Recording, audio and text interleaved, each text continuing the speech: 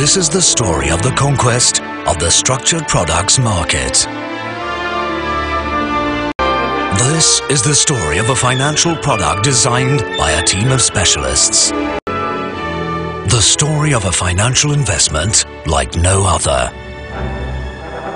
Looking for structured products. Looking for structured products. Coming next with Swiss Life.